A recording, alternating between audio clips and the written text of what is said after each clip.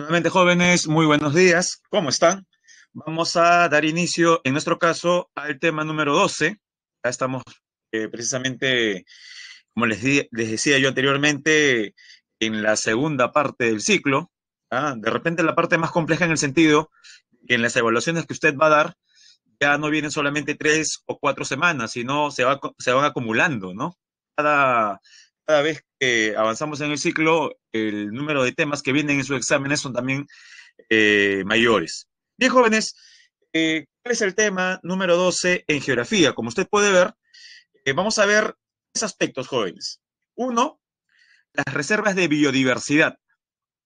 ¿ah? Son fundamentalmente dos, la Amazonía y la Antártida. Reservas de biodiversidad. ¿Qué tienen en común estas dos reservas de biodiversidad? Que uno pudo haber mencionado, profesor, pero hay tantos lugares en el planeta, ¿no? ¿Por qué solamente dos? Bien, la razón estriba en lo siguiente. Son las dos reservas, son los dos lugares del planeta que tienen las mayores reservas de agua dulce. Ese es el criterio que estamos utilizando para considerarlas. La Amazonía y la Antártida. Luego explicaremos las diferencias. En una segunda parte, jóvenes, veremos cómo se protegen las áreas en el Perú.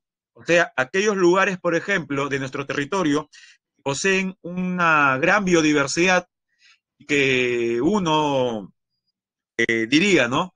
Son lugares que necesitan ser conservados y protegidos, no solamente por las comunidades locales, sino por el Estado, son las llamadas áreas naturales protegidas por el Estado.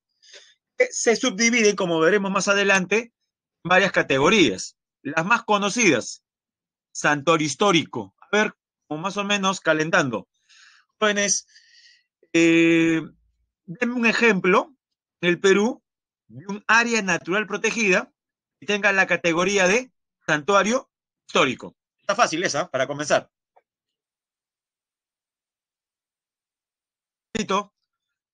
Una área natural protegida en el Perú y a categoría sea de santuario histórico. Les ayude ese lugar más visitado por los turistas, tanto nacionales como extranjeros. ¿Cuál es el nombre de ese santuario? Es, digamos que el, buque bandera de los lugares turísticos en el Perú. A ver, parece que la pregunta está bien difícil. A ver qué dice. No veo todavía ninguna respuesta. Vamos a dar la respuesta entonces. Me parecía sencilla la, interrogante. Ya, no se olvide, jóvenes. En el Perú, en el Perú tenemos, ah, menos mal, correcto, Anthony. El santuario histórico de Machu Picchu. Muy bien, Lucía. Machu Picchu, santuario histórico. Y aún un poquito más difícil. En total, son cuatro santuarios históricos. Ya me mencionó uno. Uno más, para, que, para tener el 50% tener dos de cuatro. ¿Qué le parece? Yo uno. Uno más para, llegar al 50%. Son cuatro santuarios históricos en el Perú. El más conocido es Machu Picchu, ubicado en Cusco. Eh, les menciono, pero yo sé que en estos momentos, profesor, estoy buscando en el boletín y no lo encuentro. Sí, lo que sucede, lo que sucede es que el día de hoy nosotros vamos a darle mayor importancia a tres categorías parques nacionales, ejemplo, Manu, santuarios nacionales, no confundir santuarios nacionales santuarios históricos, son dos categorías distintas, a pesar que suenan parecido. Santuario nacional es una cosa, santuario histórico es otra. Ejemplo de santuario nacional, los manglares de Tumbes. Veremos también las famosas reservas nacionales, como la de la Chay, Lima, Pacaya Samiri en Loreto, Caracas en Ica. Y no está en el boletín, pero yo asumo que usted puede decirnos un santuario histórico más, aparte de Machu Picchu. Eh, a ver, tenemos como una respuesta por ahí, las pampas de Ayacucho, o sea, pampa galeras en Ayacucho. Ya, no se olvide, pampa galeras en Ayacucho. Ah, me corrijo, está como las pampas de Ayacucho, nada más. Correcto. Entonces, sí sería, sí sería verdadera la respuesta de Lucía. Pero para no confundirlo, hay pampas galeras que está en Ayacucho, que es una reserva nacional, pero aquí Lucía nos hace la mención, y está bien, por lo escrito, las famosas pampas de Ayacucho, o la pampa de Ayacucho, ¿no? En singular. ¿Qué, profesor? Que se refiere a la famosa pampa de la quinoa. ¿Por qué se le llama santuarios históricos? Porque son lugares donde aparte de la belleza natural, se ha desarrollado algún acontecimiento importante de la historia de nuestro país. Ah, profesor, claro. Pero esto es el ABC de la historia del Perú. ¿Cómo se llamó, jóvenes, la batalla que selló la independencia del Perú de América? Se realizó el 9 de diciembre de 1824. San Martín se había retirado del Perú tenía plenos poderes era Bolívar. ¿Recuerda? Está fácil, jóvenes. Esta famosa batalla se llamó Batalla de Ayacucho. La, batalla de Ayacucho se desarrolló en la Pampa de la Quinoa, también llamada Pampa de Ayacucho. Por tanto, la respuesta de la compañera Lucía Guadalupe está muy bien.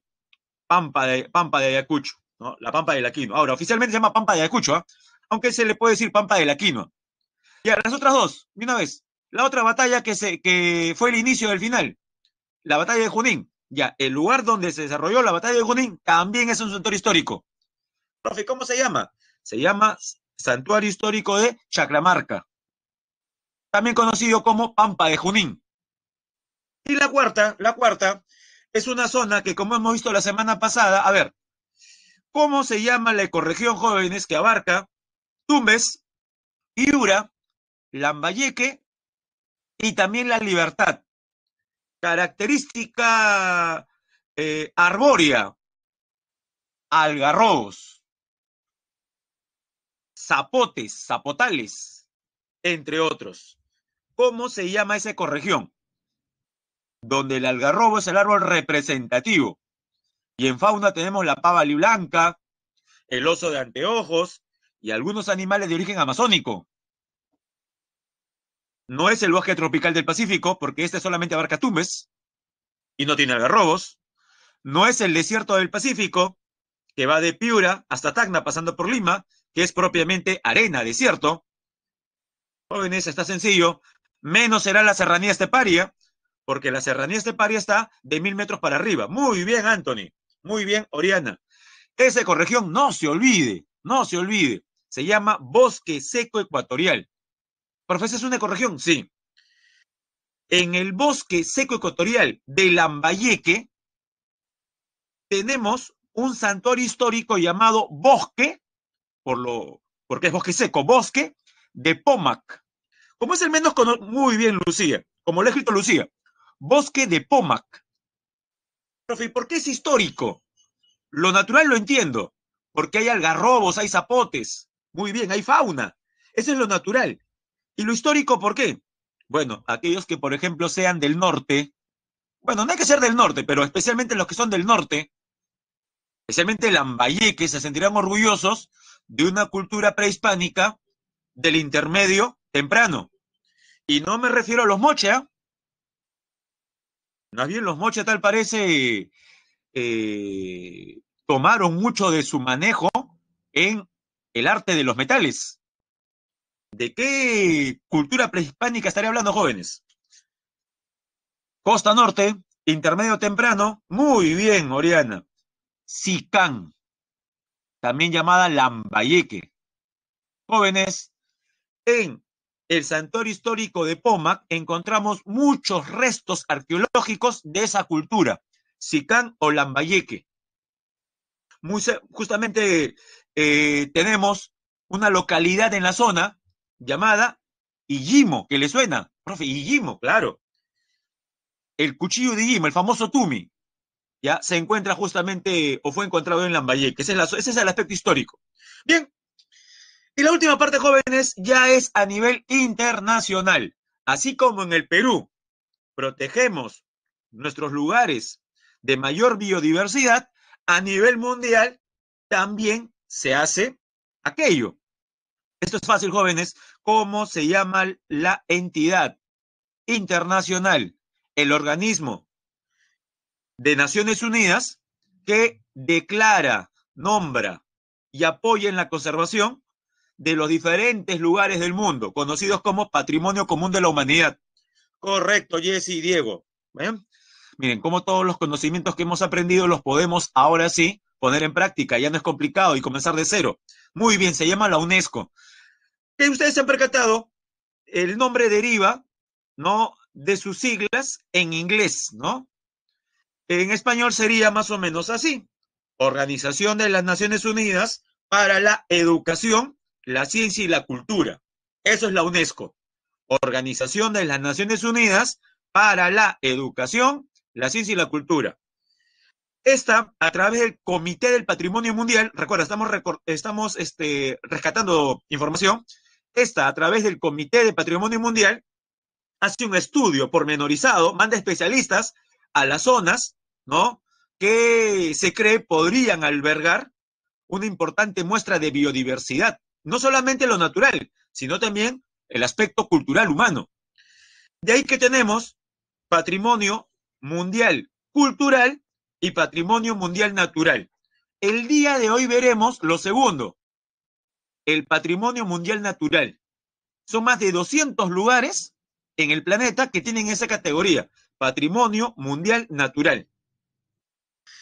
Y aparte, por ejemplo, de ver esos lugares llamados patrimonio mundial eh, naturales, veremos también otra categoría llamada reserva de biosfera. Así que si, si, me he demorado en esta parte es para que no confunda dos términos que suenan parecidos.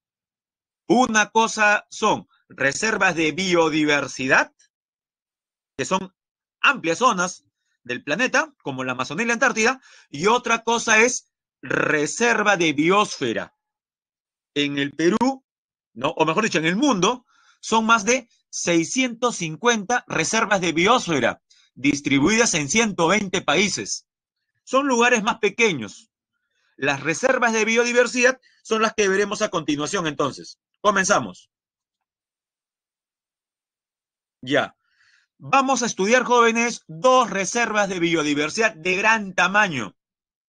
Ahí las puede ver, están en el, inclusive tenemos el mapa. La primera se ubica en América del Sur. ¿Cómo se llama? A pesar que el nombre ya lo tiene ahí, no está de más escribirlo. Se le va, se le va a hacer más sencillo después recordarlo. Jóvenes, ¿cómo se llama la reserva de biodiversidad que se encuentra en América del Sur? Muchos le conocen a esta como el pulmón más importante del planeta. Y uno dirá, profesor, ¿y es cierto eso? ¿O es fanfarria? Decir que la Amazonía es el principal pulmón del planeta. Bueno, tomando en cuenta los ecosistemas continentales, es verdad, pero no debe olvidar que otras zonas que también cumplen la función de pulmón. Profe, ¿por qué le dicen pulmón? En el sentido de que estos lugares liberan oxígeno, ¿correcto? Y también cumplen otra función, absorben dióxido de carbono, pero principalmente lo primero, son lugares que emiten oxígeno. Y uno dice, profesor, quienes emiten oxígeno son las plantas. Y el lugar que tiene, y los ecosistemas que tienen más plantas son los bosques tropicales. Y el bosque tropical del planeta que tiene mayor extensión es el amazónico. Por tanto, la Amazonía sería el principal pulmón del planeta, sí, pero, repito, de las superficies continentales. Recuerda que los océanos también cumplen esa función. Los océanos también liberan oxígeno y los océanos también absorben, absorben CO2. Pero sí es verdad, se le puede conocer como uno de los pulmones más importantes. Y el segundo, jóvenes, el segundo lugar es la Antártida, el llamado continente blanco. Ahora, vamos a ver la definición de lo que es una reserva de biodiversidad. A ver, no se olvide. Estatus especial dado por la UNESCO a dos zonas del planeta. Y esto lo voy a subrayar, jóvenes. ¿Cuál es el criterio que ha usado la UNESCO para llamarle tanto a la Amazonía como a la Antártida reservas de biodiversidad? Porque constituyen reservas de agua dulce. Ahora veamos la diferencia. ¿Cuál de esas dos reservas de biodiversidad jóvenes, Amazonía o Antártida, tiene las principales reservas de aguas criogénicas? Acostúmbrese a usar estas palabritas técnicas. Aguas criogénicas, jóvenes. Recuerde que crío significa frío, congelado. La Antártida. A veces uno ve una palabra medio extraña y uy, uno dice, ¿qué hago ahora, profesor? No puedo googlear en el examen. No, pues no puede. Biogénico se refiere a gelado. Las principales reservas de agua dulce del planeta, ¿no? Se encuentran en la Antártida. Lastimosamente se encuentran en estado sólido. En cambio, la Amazonía, jóvenes, es el lugar que presenta las mayores reservas de agua dulce. ¿En qué estado? Las mayores reservas de agua dulce, ¿en qué estado? En estado líquido. ¿Ya? Y no solamente en estado líquido, sino que fluyen, que se mueven, que se desplazan. La Amazonía contiene el 20%, jóvenes, la quinta parte del agua dulce que se desplaza por los continentes. Es bastante, jóvenes, ¿ah? Miren, ¿ah? Miren la importancia que tiene la Amazonía. Y uno dirá, profesor, ¿y esa importancia que tiene la Amazonía eh, tiene que ver con el Perú? El Perú no tiene absolutamente ningún tipo de relación con la Amazonía. ¿Qué opina usted? ¿El Perú tiene relación con la Amazonía? ¿Sí o no? Primero veamos si hay o no relación. ¿O es un ecosistema distante al, nuestro? Por supuesto, la respuesta categórica y contundente es sí. ¿Cuál es esa relación?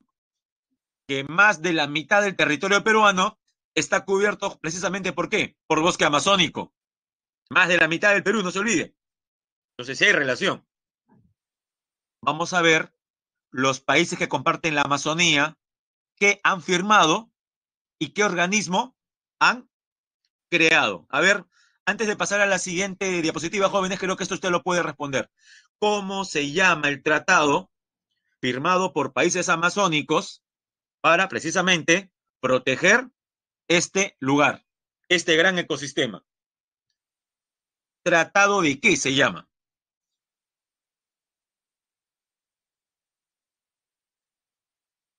Pongo las siglas, ¿qué le parece? Ya, esas serían las siglas. TSA. ¿Tratado de qué? Está fácil, jóvenes. Muy bien, Tratado de Cooperación Amazónica. Este tratado fue firmado en 1978. Dos décadas después, los países que firmaron el Tratado de Cooperación Amazónica decidieron formar un organismo. Profe, ¿qué organismo? El organismo que agrupa a los países firmantes de dicho tratado. Ah, profesor. Siglas. Ahí va. También está fácil, jóvenes. Le hemos agregado solamente la letra O. ¿Me puedo decir el nombre completo de este organismo que agrupa a los países que firmaron dicho tratado? Es bueno precisar lo siguiente porque mucha gente confunde el tratado con el organismo. De hecho, que tienen relación. Hay una estrecha relación entre el TCA, ¿no? Y OTCA, o si gusta, OTCA. Ya. OTCA UOTCA significa Organización del Tratado de Cooperación Amazónica. No se olvide. Pero, profe, casi lo mismo, sí. Lo único que tiene que hacer es antecederle el término organización, nada más. Pero hay que diferenciar, pues. Porque, jóvenes, ¿cuál es el documento? ¿El tratado o la organización? ¿El documento cuál es? El documento firmado. El documento firmado es un tratado, ¿correcto? y el grupo de países forman la organización. Bueno, eso lo vamos a ver aquí. Ya, datos sobre la Amazonía. Usted puede ver en el mapa de color verde el territorio, el territorio que abarca la Amazonía en América del Sur. A ver, jóvenes, vamos a subrayar. Esta es la parte más sencilla jóvenes, habría que tener una chuleta en el ojo para no darse cuenta de que el país sudamericano que abarca más Amazonía, ¿cuál es? Mire, todo lo de verde es la Amazonía, y hay un país que destaca nítidamente porque tiene mayor extensión. Este será Brasil. Perfecto, Brasil. Vamos a subrayarlo. ahí está, Brasil. ¿Y cuál cree? A ver, aquí tiene que ser fino con su vista. ¿Cuál será el segundo país en extensión de Amazonía? ¿No es Ecuador? La parte verde de Ecuador es pequeña. ¿Será Colombia? ¿Será Venezuela o Bolivia? Las Guyanas quedan fuera porque son pequeñas. A pesar que la mayor parte del territorio. Sí, correcto. Jóvenes, el segundo país que tiene mayor extensión de Amazonía es el Perú. O sea, cuando hablamos de Amazonía, hay que mencionar los dos primeros lugares en ese orden, Brasil y Perú. Luego vienen Bolivia, Colombia, Venezuela. ¿Cómo se llama la vecina de Venezuela, jóvenes? También Ecuador. A veces nos olvidamos que al norte de Brasil y al este de Venezuela hay tres territorios. Comúnmente se le conoce como las, las Guayanas o las Guyanas a los tres territorios. La mayor parte de la población de esos países no habla español ni portugués.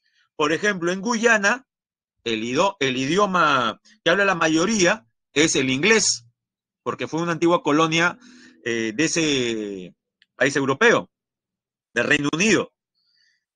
En Surinam, el, idioma más hablado, es multicultural, Surinam, es el neerlandés, que algunos llamarían holandés. Sí, Surinam fue antiguamente llamada Guayana holandesa.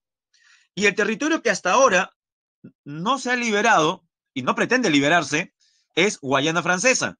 Por eso es que Guayana francesa, escuche bien, no es parte de la Organización del Tratado de Cooperación Amazónica. ¿Por qué razón? A pesar que Guayana francesa tiene Amazonía, a ver, eso está fácil, jóvenes. ¿Por qué cree usted que no se considera parte de la Organización del Tratado de Cooperación Amazónica? ¿Qué le falta a Guayana Francesa para que pueda aspirar a firmar alguna vez dicho, dicho tratado, y, ¿no? A firmar dicho tratado y formar parte de dicho organismo? Ya, no se olvide. Por algo dice Guayana Francesa, ¿no? Muy bien, Diego. No es un Estado independiente. Esa es la razón, correcto, Jesse, no está independizado. Profe, entonces, que es una colonia? Eh, el término colonia ya no se usa mucho, en todo caso, lo que es Guayana Francia es un territorio de ultramar de Francia. Es como un departamento más de Francia, sino que fuera de Francia. ¿Ya? Eso es Guayana francesa. Es territorio francés en Sudamérica. ¿Quién lo diría, no? Y jóvenes, entonces, si bien es cierto, la Amazonía abarca nueve territorios, ¿correcto? La Organización del Tratado de Cooperación Amazónica no abarca nueve países, abarca ocho países, porque no se cuenta Guayana Francesa. Característica de la Amazonía. La mayor cuenca hidrográfica del mundo. Jóvenes, el río Amazonas no solamente es el más largo, el más caudaloso, el más ancho, el más profundo. El río Amazonas forma también la cuenca más extensa del planeta. Ah, bueno, Guayana Francesa, me pregunta Diego, cerca de ¿Qué cosa es? Bueno, como podemos ver en el mapa, es un territorio sudamericano, pero controlado políticamente por un Estado europeo. O sea, en términos políticos, es un territorio europeo, jóvenes. Sí, es verdad. Francia es un territorio europeo, en términos políticos, ¿no? Si nos vamos a la parte netamente geográfica, sí, pues no ver, mira el mapa, dice, profe, ese lugar está ubicado en Sudamérica, es correcto. Pertenece a, a Francia. Jóvenes, hay muchos lugares de América que tienen control europeo, ¿ah? Por ejemplo, Groenlandia. Yo pensaba mencionar este tema, jóvenes, en la última, penúltima semana, en la 17, claro, en la 17 que íbamos a ver geografía política. En la semana 17 veríamos geografía política, por ejemplo, de América y Asia, si no me equivoco. Y en América pensaba hacer esa precisión, pero ya dado que Diego, y me parece pertinente eh, ha hecho la pregunta, no se olviden que hay otros territorios en América que también son de dependencia europea. Por ejemplo, Groenlandia, que pertenece a Dinamarca. O este, las llamadas Antillas holandesas, que pertenecen a los Países Bajos, entre otros. Bien. Segunda característica se la mencioné. La Amazonía alberga el 20% del agua dulce que fluye hacia los océanos. La quinta parte, ¿ah? Tercero, más de la mitad del bosque húmedo tropical del mundo. Se lo resumo.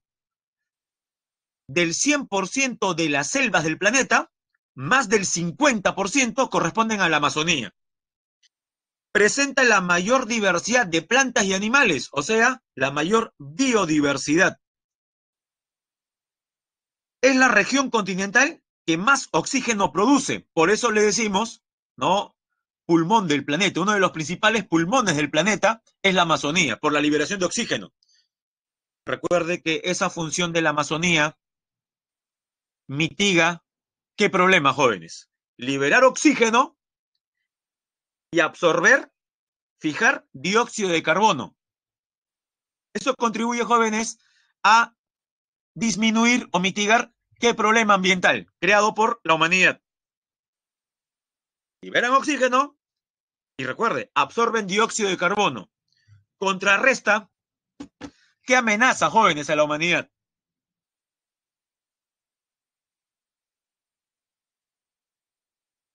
No se olvide que este problema tiene sus orígenes en las revoluciones industriales, cuando comenzamos a quemar petróleo, carbón, gas natural, o sea, hidrocarburos. Llamamos hidrocarburos para la industria principalmente, y justamente hemos aumentado los niveles de dióxido de carbono. Ya, la Amazonía ayuda a bajar esos niveles de dióxido de carbono.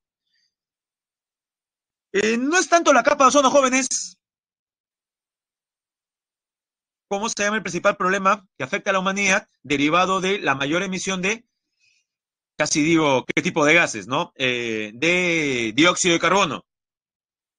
Uy, parece que la pregunta, por ser muy sencilla, eh, los hace dudar. Es bien sencilla la, la pregunta, jóvenes, ¿ah? Ya, mejor, mejor, Diego. Calentamiento global. El cambio climático, jóvenes.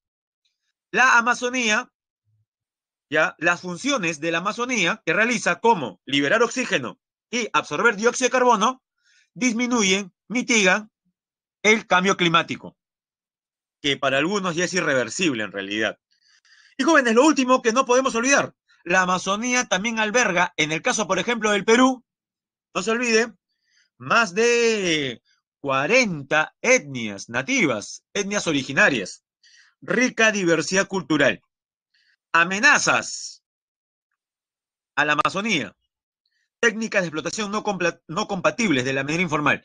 Vimos la semana pasada, antepasada, jóvenes, imágenes de cómo, por ejemplo, se depreda eh, diferentes lugares de Madre de Dios para extraer el oro, ¿no? A través de la minería informal.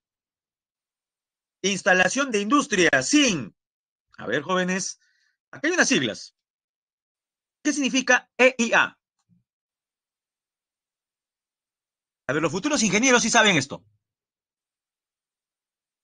¿Qué es un EIA. Es un documento, jóvenes. ¿Qué significa? Cuando uno va, por ejemplo, a realizar algún tipo de actividad que pueda influir en el medio ambiente, las empresas previamente tienen que presentar, repito, un EIA. Muy bien, Anthony. ¿No? Un estudio donde se evalúa el impacto ambiental, ¿no? se refiere a los estudios de impacto ambiental, donde se realizan las evaluaciones respectivas. Eso es un EIA, ¿no? Estudios de impacto ambiental. Perfecto. Ya, ¿qué tenemos en la Amazonía? Que se establecen un montón de industrias sin ese requisito, sin analizar, ¿no? El impacto ambiental que va a, a afectar justamente a los ecosistemas.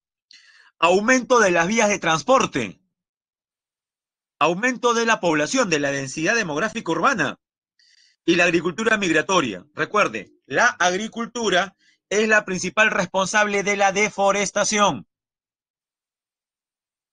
Y la parte de la legislación, como le mencionaba, el Tratado de Cooperación Amazónica firmado en 1978.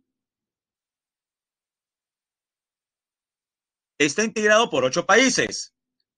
Los ocho países forman la Organización del Tratado de Cooperación Amazónica, por donde se extiende la Amazonía. Su función es promover el desarrollo armónico de la, de la Amazonía. No se olvide, subrayemos eso. Principal función, promover el desarrollo armónico. Jóvenes, ¿qué significa armónico?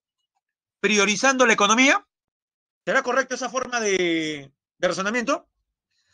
¿Desarrollo armónico será darle mayor importancia al aspecto económico? Desde luego que no. Desarrollo armónico se refiere a realizar actividades sostenibles. No se olvide esa palabra, sostenibles. Preservando su medio ambiente con el fin de elevar el nivel de vida de sus pueblos. Y por último, con respecto a la Amazonía, ahí puede ver cuatro imágenes de amenazas que afectan a la Amazonía. Por ejemplo, los incendios forestales, que el año pasado eh, llamaron la atención de la mayor parte de la población del mundo, ¿no? No solamente aquí en Sudamérica. En todos lados estábamos, por ejemplo, pendientes de lo que pasaba en Australia, pero también en Brasil y en Bolivia. En el Perú, lastimosamente, también se dan incendios forestales. Pero recuerde, en la Amazonía, escuche bien, los incendios forestales eh, no suelen ser de origen natural, como si ocurren, por ejemplo, en California o en España, donde producto de la característica de los árboles. ¿Recuerdan, jóvenes, cómo se llaman estos árboles cuyas hojas se caen en el otoño? Típico de los bosques templados. ¿Árboles qué? Típico de bosques templados. Muy bien, Juan José. No se olviden, ¿ah? Caducifolios, hoja caduca. Jóvenes, estos árboles son los que predominan en la Amazonía. Abundan, predominan, mandan en la Amazonía los árboles caducifolios, ¿sí o no?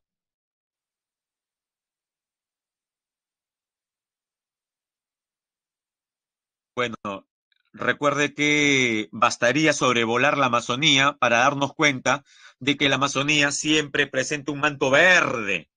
Se ven las copas de los árboles, cedros, tornillos, caobas y espingos. La mayor parte de los árboles, por no decir todos los árboles de la Amazonía, no son caducifolios. Más bien, ¿qué categoría, qué, qué tipo de árboles serían jóvenes? ¿Cuál es el término contrario a caducifolio?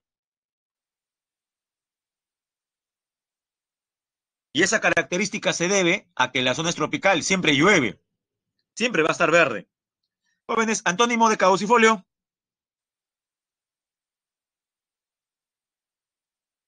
No se olvide, si es caduco un término, el otro será perenne, ¿no? Eterno. Muy bien, Anthony, perennifolios. Entonces, en la Amazonía, los incendios forestales, recuerde, eh, no son de origen natural como en California o en España. Los incendios forestales en el Perú, en Brasil, en Bolivia, en Colombia, en Ecuador, en Venezuela, en las Guyanas, son generados por el ser humano. ¿ah? Son propiciados por las actividades humanas. Y aquí, por favor, de nuevo, tenga mucho cuidado con lo que va a responder. ¿Cuál es la actividad, jóvenes, que más deforesta la Amazonía? ¿Qué actividad económica deforesta más la Amazonía. No es la tala. ¿Ya? Es la agricultura. Y por eso es que justamente queman los bosques. Profe, ¿cómo queda un bosque luego de ser quemado? Observe la segunda imagen. Ahí está. Todavía se puede ver el humo, ¿no? El humo emitido por las cenizas. Mire, ahí está. Profesor, parece una, una cancha de fútbol, tiene forma rectangular. Sí. ¿Usted cree que un incendio natural va a tener esas características de ser perfectamente rectangular? No, jóvenes. Es rectangular precisamente porque los autores de este crimen a la naturaleza, de este ecocidio, solamente han echado combustible en un área de forma rectangular. Mire lo que han hecho con la Amazonía. Profe, ¿qué departamento peruano es ese? Por suerte, esa imagen no es de Perú. Ya se imaginará de qué país es ese, de qué país es la imagen. A ver, si no es Perú, eso es Brasil. Eso es Brasil. Brasil en Sudamérica es el país que tiene mayores problemas de deforestación. Estos han aumentado desde la llegada al poder, ya sabe de qué, de qué personaje, ¿no? Y es más, él dijo en campaña que iba a hacer eso, que iba a apoyar justamente eh, el cultivo de plantas como la soya. El principal cultivo de Brasil que amenaza los bosques es justamente la soya. La soya es un importante producto comercial en el sentido que nos da aceite vegetal, ¿no? Es la materia prima para la industria oleaginosa. Bien, ahora ya sabe por qué Brasil produce aceite tan barato. Si ustedes ir al supermercado y ve, uno, y ve una oferta difícil de, de desdeñar, donde dice, solamente hoy con tarjeta, llévese un litro de aceite vegetal a solamente 2 soles 99. El litro, ¿ah? 2 soles 99. Y uno compara con las marcas que uno siempre compra. Uy, pero si la marca favorita de mi cuesta 6 soles, 7 soles, 8 soles. Ya ni qué hablar del aceite de oliva, que cuesta solamente la botellita 15, 20 soles para arriba. ¿Por qué tan barato? Ya, jóvenes, a ojos cerrados. Un aceite vegetal ofertado en algún centro, en algún supermercado en el Perú, que no pase de 3 soles, ya le digo, no es producto local, no es, no es aceite vegetal nacional. ¿De qué país será? Tan barato, menos de 3 soles, jóvenes, menos de un dólar. Ya, Correcto. Procede de Brasil, es aceite brasileño. Usted lee, lo que pasa es que a veces no tenemos la costumbre de leer las etiquetas. Si usted lee las procedencias, verá que buena parte de aceites dice industria brasileña. Inclusive algunos están ni siquiera en español, están en portugués todavía. La tercera, la vimos la semana, la, vimos en, en, clases anteriores. Mire, esto sí corresponde al Perú, jóvenes. Minería ilegal. Y a ver, dos preguntas. ¿Qué departamento peruano sería? ¿Cuál es el departamento peruano más atacado por la minería ilegal? Muy bien, madre de Dios. Y esta minería, ¿qué es lo que busca? Del lecho de los ríos, del cauce de los ríos. ¿Cuál es el metal que busca? Correcto, oro. Y para ellos jóvenes, una vez que las dragas han hecho su trabajo y han acumulado una buena cantidad de materiales del fondo del río en la ribera, se procede a utilizar otro, otra sustancia, mercurio. Ese es el principal tipo de contaminación de los ríos en Madre de Dios, el mercurio, que está presente en los peces, como la carachama, como la palometa, y como estos son peces comestibles, jóvenes, finalmente, ese nivel de mercurio, ¿a dónde pasa? ¿Quiénes comen carachama? ¿Quiénes comen palometas? ¿Quiénes consumen paiches? Yo seré profe, el delfín rosado. Sí, pero hábleme de otro mamífero diferente al delfín rosado que consume esos peces. Es el mamífero más peligroso de todos, porque es el que más daña no, al planeta. Nosotros, pues jóvenes, ¿no? Los seres humanos. Profe, pero los pobladores del lugar sí son cuidadosos, son los nativos. Eso es verdad. Eso es verdad. También son perjudicados los nativos. Y la cuarta, jóvenes, corresponde, a ver, por la infraestructura. Mira, profe, yo quisiera manejar por esa carretera. Jóvenes, esa carretera pasa por encima de los árboles. Y recuerde que los árboles en la Amazonía no son de 5 o 6 metros, son árboles de 25, 30 metros. O sea, estamos hablando de una carretera que está a gran altura. Algo así como el tren eléctrico, pero más arriba todavía. ¿Ha visto el tren eléctrico aquí en Lima? ¿No? Es un paso prácticamente aéreo. ¿Ya será un lugar del Perú? ¿Cree usted? No, es Brasil. ¿No? Es Brasil una de las carreteras que finalmente lleva a la principal ciudad brasileña en la Amazonía, Manaus. En Brasil sí hacen ese tipo de obras, miren. Acá en el Perú, para ir a hacerla, tenemos pura trocha.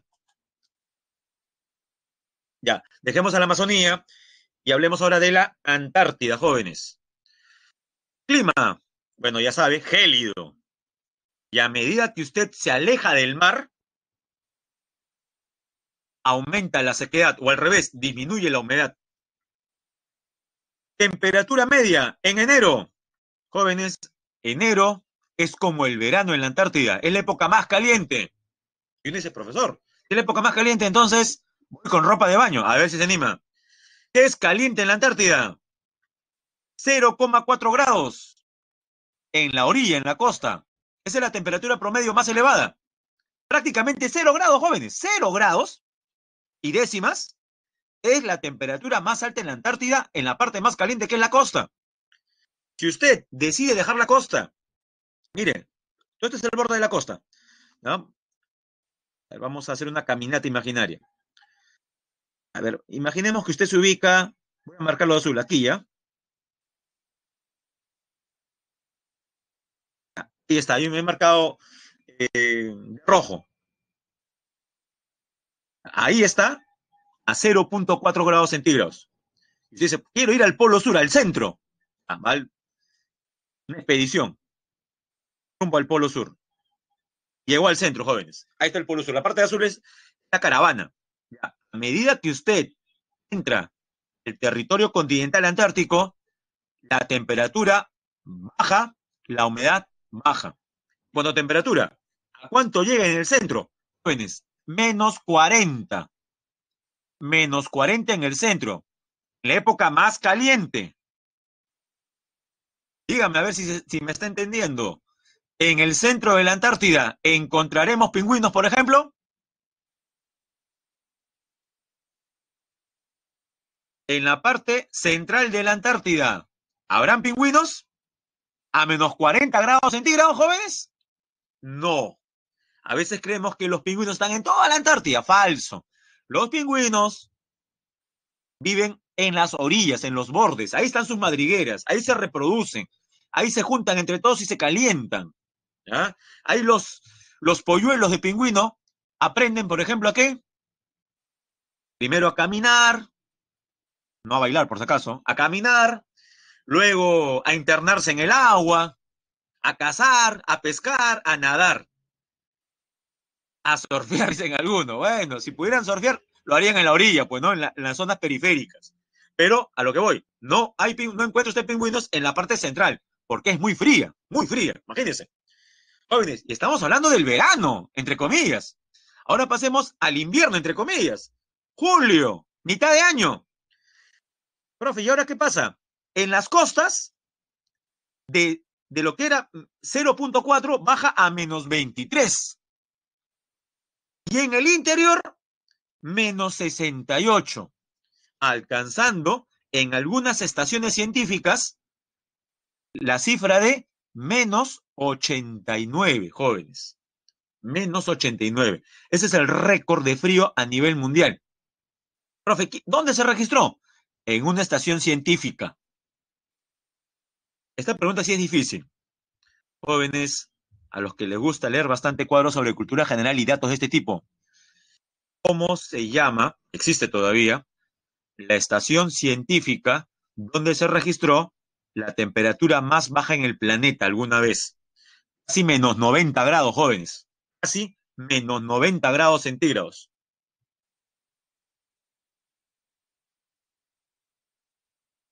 Les adelanto, por si acaso, antes que alguien escriba, no es la base científica Machu Picchu, por si acaso, ¿ah? No es la estación Machu Picchu.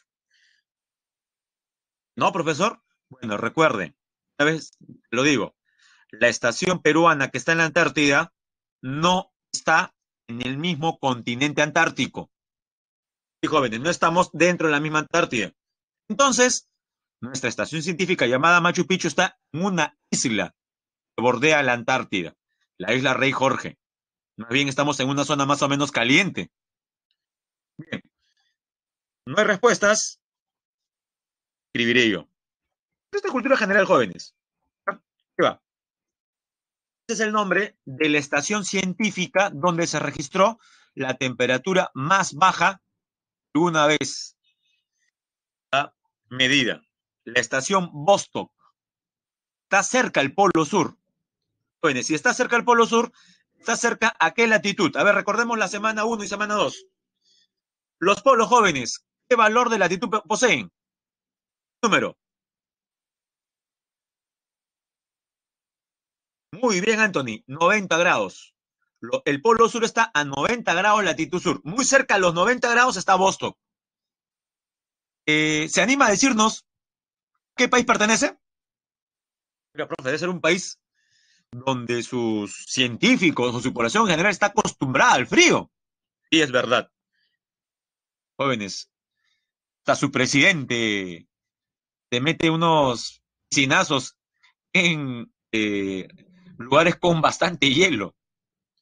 Se imagina de qué país estoy hablando, ¿no? Sea, su presidente hace eso. ¿Qué país? Claro, Rusia. Vostok es Rusia. Correcto. La estación, la estación rusa llamada Vostok. Recuerde que se llama Vostok en honor a la cápsula, ¿no? Eh, que llevó al primer este, humano salir del planeta, ¿no? El primer cosmonauta, Yuri Gagarin. Su nave se llamó Vostok, en honor a él. Pero cada país le va a poner a la estación algo que lo identifique claramente, ¿no? Nosotros, por ejemplo, decidimos llamarlo, llamarle Machu Picchu. Más bien, el día que el Perú sea conveniente eh, establecer una segunda base científica, tendríamos que usar otro nombre característico del Perú a nivel mundial.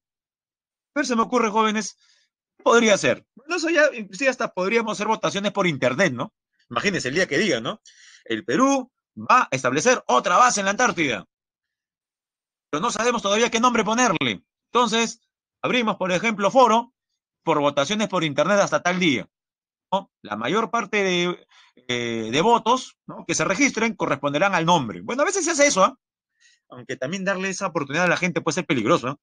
Nombres, nombres podría dar la gente, imagínense. Pero bueno, nuestra única base se llama Machu Picchu. Creo que con ese nombre, realmente cualquier persona en el planeta se da cuenta que, estamos, que están hablando del Perú. La atmósfera es translúcida. ¿Qué? Porque no hay humedad. Buen lugar para instalar observatorios astronómicos, meteorológicos, recursos naturales jóvenes. Flora escasa por el frío.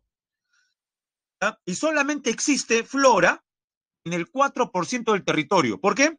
Porque el 96% está cubierto de hielo. Fauna. Los pingüinos, por ejemplo, el pingüino emperador, gaviotas, albatros, cormoranes antárticos, estas son aves. Vamos a los mamíferos, focas, ballena azul, cachalote, con los peces como el bacalao. El krill es la especie marina más importante. ¿Qué es el krill? Es un crustáceo microscópico que sirve de alimento a los peces, a las ballenas, a los animales en general, ¿no? Es una de las bases de la cadena alimenticia. ¿Qué es lo que puede ver, jóvenes, aquí en la imagen? Mire. Ahí está el krill. Parece un camarón de río, del río Cañete. Sí, pues parece eso, pero es pequeñísimo. Ahí está el krill. Y mire las flechas. Alimento de los pingüinos y alimento de las eh, ballenas. En este caso, se ve la aleta final de la ballena franca austral. Pero jóvenes, el pingüino también tiene sus depredadores. Siga la imagen. Y dígame, ¿el pingüino será alimento, por ejemplo, de qué depredadores?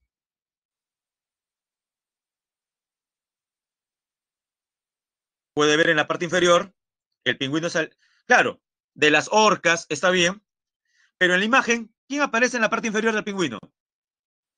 También se lo come. Sigue las flechas. La foca, la foca leopardo también se come pingüinos. La foquita, ¿no? Pero también, pero también es alimento de, otra, de un ave rapaz, un ave depredadora. Un nombre es medio raro, lo escribo si, es que está borroso, ¿ya? Ajá, el escuá, muy bien, Geraldine.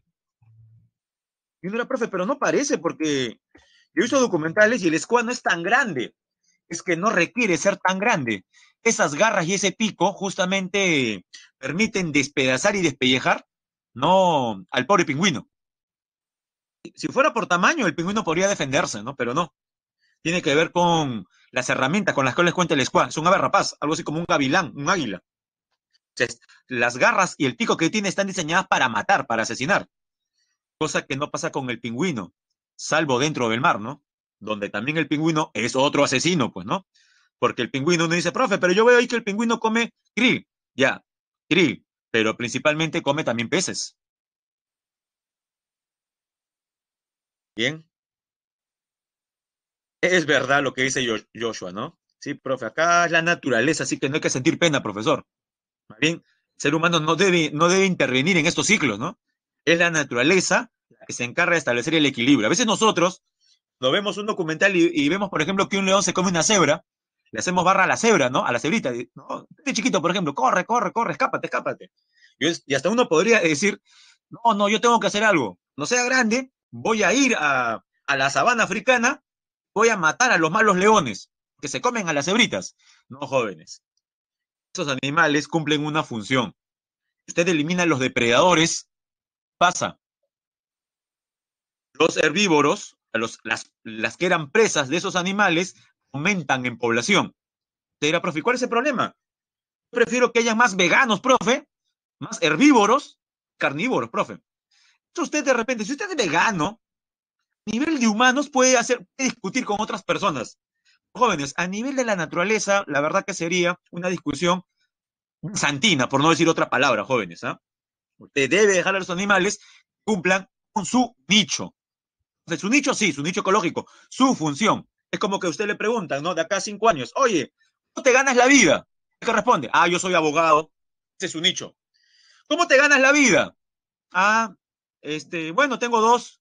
Soy contador y en, mis, y en mis tardes libres soy barbero. Ah, qué bacán. Muy bien. Ese es su nicho. O sea, ¿cómo se gana la vida? Los animales también tienen eso, su nicho. ¿Cómo se gana la vida? Unos son herbívoros, otros son depredadores, otros son carroñeros, otros son productores, las plantas. Entonces, cada animal tiene su función. Si usted elimina a los depredadores, a los carnívoros de un ecosistema, aumente el número de qué? De herbívoros, ya jóvenes. Siga el razonamiento, siga este, razonamiento. Si aumenta el número de herbívoros, ¿quiénes se perjudican? Si aumenta el número de herbívoros, jóvenes, las plantas, desaparecen las plantas. ¿Por qué, profe? Muchas cebras, pues. Muchos impalas. Uy, verdad. Mire la importancia. Los carnívoros controlan a los herbívoros. Y eso permite que las plantas no desaparezcan. Y las plantas son la base alimenticia. ¿Ve? Lo que puede pasar cuando usted, cuando usted interviene o introduce un animal exótico. Muy peligroso, ¿ah? Bueno, entonces ya sabe. El día que tengo un gatito por ahí, a veces uno dice, profe, este gatito lo voy a dejar en la selva. Mire lo que las cosas que pueden pasar. Ah, profe, buena pregunta, Jessy. Profe, ¿quién controla los carnívoros? Bueno, jóvenes, a los carnívoros los controlan eh, indirectamente los carroñeros. Claro, profe, pero eso es cuando están muertos. Sí, a los carnívoros en vida no los controla nadie. Simplemente cumplen su ciclo vital y mueren. Pero mientras están vivos hacen muchas maldades. Repito, trate siempre, yo sé que eso es algo muy común, de ver a los animales como buenos y malos. Jóvenes, los animales no son ni buenos ni malos, ni villanos ni nada por el estilo. De repente Walt Disney nos ha hecho, las películas de Walt Disney nos han hecho creer, pues, que los animales tienen sentimientos y cosas por el estilo, ¿no? En el sentido como los presentan las películas estas, pues, ¿no? No, jóvenes. Son simplemente animalitos, tienen instintos. Obviamente, que no implica que vamos a, causarles dolores, ¿no? Bien. Tratado Antártico, jóvenes. Firmado el primero de diciembre, subrayo, de 1959. Ahí está. ¿Dónde? En la capital de Estados Unidos, Washington, D.C. ¿Por cuántos países? Por 12 países. Estos son los fundadores, los firmantes del Tratado Antártico. Y se les conoce como miembros signatarios. Los fundadores, los firmantes. Pero, jóvenes, al 2020 ha pasado bastante tiempo. Son prácticamente seis décadas. De 12 han aumentado a cuánto? A 54. Pregunto, ¿en estos 54 está el Perú? A ver, ¿qué dice? En estos 54, ¿está el Perú? Por supuesto. Ya, nótese el mapa que está en la parte inferior. Ah, antes de hablar de los países que forman el Tratado Antártico, no se olviden con tu ubicación el mapa que está aquí. A ver, como recordando la semana 2, jóvenes, si este mapa de la Antártida tiene en el centro al Polo Sur y los paralelos aparecen como círculos concéntricos, los meridianos como si fueran radios, a ver, trate de hacer el esfuerzo y recordar qué tipo de proyección es la que tenemos al frente. Recuerden, proyección que sirve para ver mejor zonas de alta latitud, como la Antártida. El centro de estos mapas coincide con el polo. Los paralelos aparecen como círculos concéntricos y los meridianos como si fueran radios. ¿Será cónica? Tenemos dos respuestas de Luigi y de Diego que dicen cónica. Ya más cerca está Anthony, plana, igual, ya. Juan José dio con la mejor respuesta. Asimutal, asimutal polar. No se olvide. Para representar lugares como la Antártida se utilizan proyecciones azimutales polares. Y hay que colocarle polares porque recuerde que también hay azimutal ecuatorial, azimutal oblicua. Y si es verdad lo que, decía, lo que decían, por ejemplo, Jesse y Anthony. Profe, pero también le, llamas, también le llaman este, proyecciones tangenciales porque el mapa, es, el documento es plano, sí es verdad, pero el mejor término es azimutal, ¿no? Azimut o azimutal. Azimutal polar. Muy bien. Claro, la diferencia, claro, porque en las demás proyecciones, ¿qué tenemos? Un cono y un cilindro. En una simutal, el papel aparece en forma plana, no en forma cónica ni cilíndrica. No se olvide. Y, jóvenes, usted que tiene vista del halcón, ¿cómo se llama el paralelo que está entrecortado y que prácticamente encierra a la Antártida? Mire. El, 99% de la Antártida, joven, está encerrado en este círculo. Les doy una pista. Se ubica 66 grados,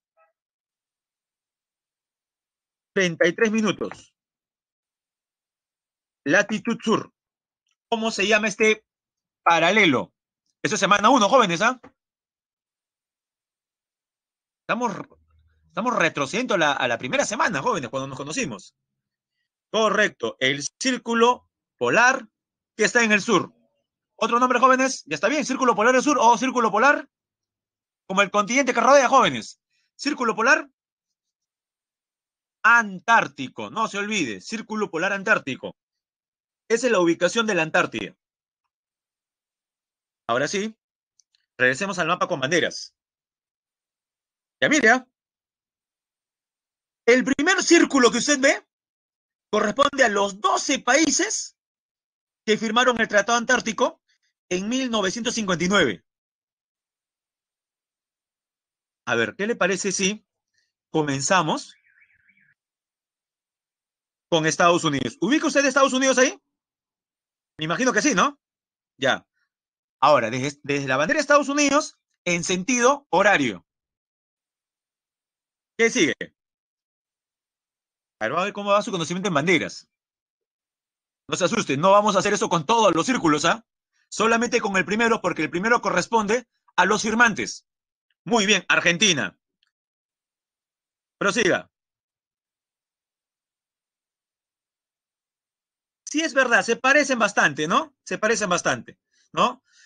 Ya, como se parecen bastante, usted, profe, no lo diferenciar. Ya vamos a decir que es Australia. Muy bien, Australia. Australia. Profe, y el otro es Nueva Zelanda, ¿ya? El otro azul es Nueva Zelanda, son muy parecidos. Ya, Australia. ¿Qué sigue? Bélgica, muy bien. Ese negro, amarillo y rojo es Bélgica. ¿De Bélgica? Sin molestarse, por favor, ¿eh? sin molestarse. ¿De Bélgica qué sigue? Ahí te lo dice, chi, chi, chi. Claro, Chile, Chile, Chile. Muy bien, los hermanos del sur. No reniegue, no reniegue. ¿Quién sigue? Francia. Luego el país del sol naciente, hay un sol en el medio, jóvenes, mire, ¿qué, qué sigue? Japón. Y ahora, Nueva Zelanda. Esa es Nueva Zelanda. La que sigue, Noruega, muy bien, Noruega. La que sigue, Rusia, ¿no? La madre Rusia, como me llaman algunos, Rusia o Russia, ya, Rusia. Los dominios de Putin. La que sigue, jóvenes. Muy bien, ¿ah? Sí, parece Jamaica, es verdad. Pero yo les hago una pregunta. Ya, mira. Sí, verdad, parece Jamaica. Jamaica tiene más amarillo. Pero yo les hago una pregunta. Por ubicación geográfica, ¿a quién le correspondería ser parte del Tratado Antártico? ¿A Jamaica o a Sudáfrica? ¿Quién está más cerca de la Antártida?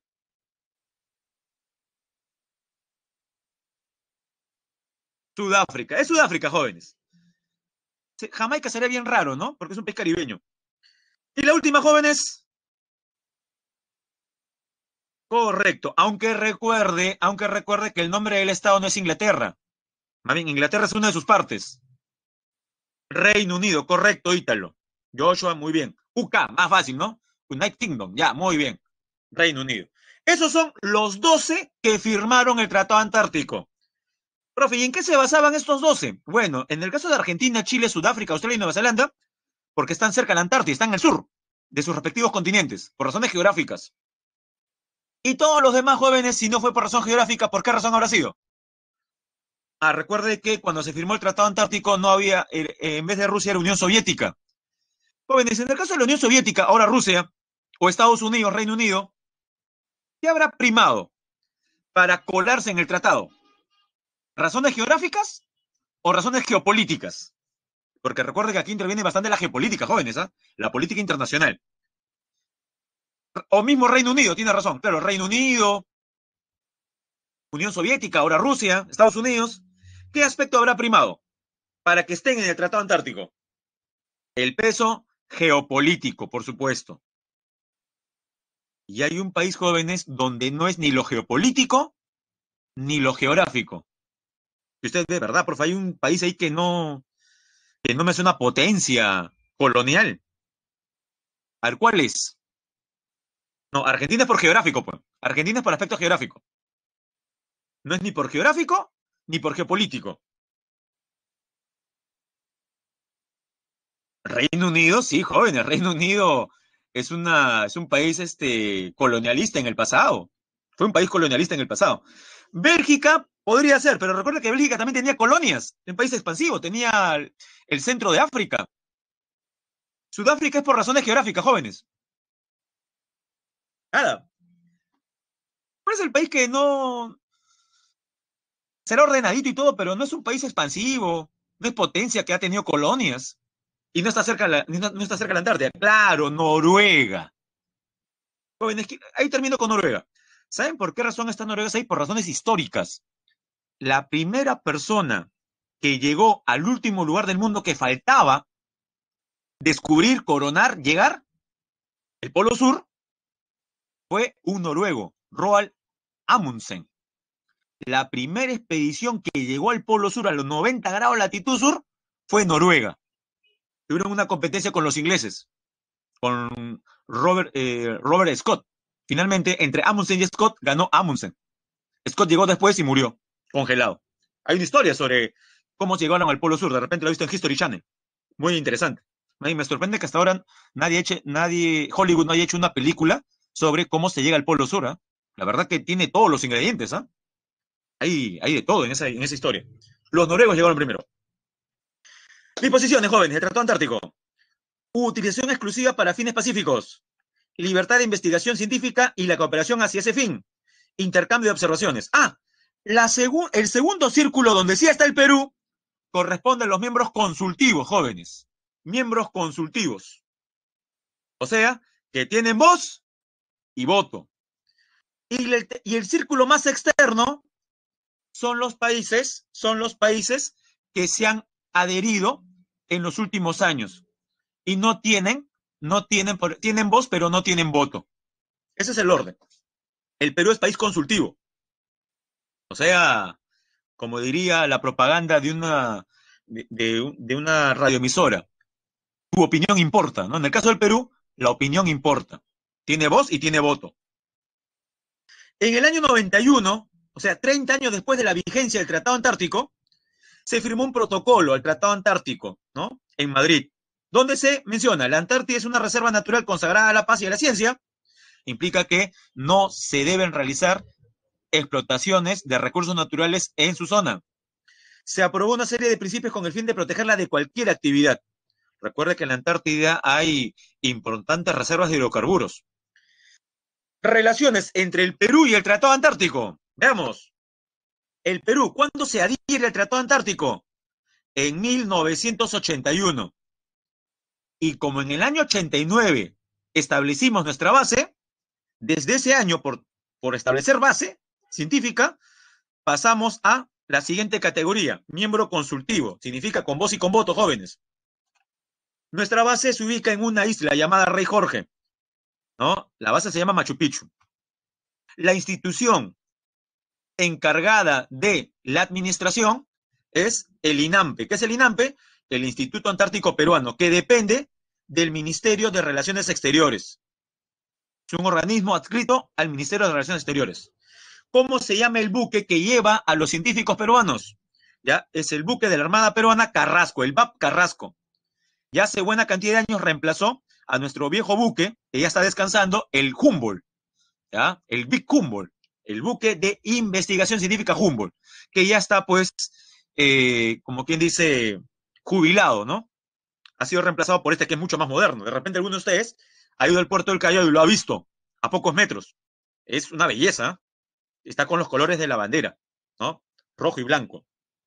A la izquierda, jóvenes, puede ver la imagen de la estación científica Machu Picchu. A la derecha, el Carrasco llegando. Y al centro, una imagen donde se ven las dos. La estación científica, mire ahí en un lugar desolado, y llegando ya, a pocos metros nada más, el Carrasco. Y las expediciones que salen del puerto del Callao rumbo a la Antártida y viceversa, se conocen con el nombre de ANTAR. Cada año se suelen realizar. Por ejemplo, la que se realizó este año de pandemia fue ANTAR 27. Si es que se decide mandar a fines de diciembre o enero del próximo año otra misión más, en plena pandemia todavía, pero vamos a ver si lo hacen o no, sería ANTAR 28. Sería ya, ya la vigésima octava misión que mandamos a la Antártida.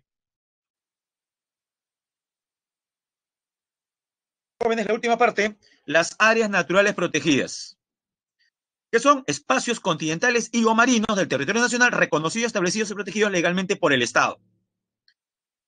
Jóvenes, ¿a través de qué ministerio? A ver, adelantamos. ¿Qué ministerio tiene esta función? Proteger estas áreas. No es Ministerio de Cultura. No es el Ministerio de Cultura. Si gusta, puede poner las siglas nada más para no poner el nombre completo. Ya, pero primero el ministerio. es correcto lo que dice Ítalo. Es el CERNAM, que pertenece a qué ministerio? Correcto, Diego. Al Ministerio del Ambiente. Pero como ya estamos en confianza, jóvenes, le puede llamar simplemente de qué manera el, el MINAM. ¿Ya? El ministerio encargado es el MINAM. Y uno de sus organismos encargados de este tema es el CERNAM. ¿Qué es el CERNAM? El Servicio Nacional de Áreas Naturales Protegidas. Las áreas se dividen en dos grupos, de uso indirecto, o sea, intangible, y de uso directo. Para que no se confunda, vamos a escribir ahí, ¿ya? Las de uso indirecto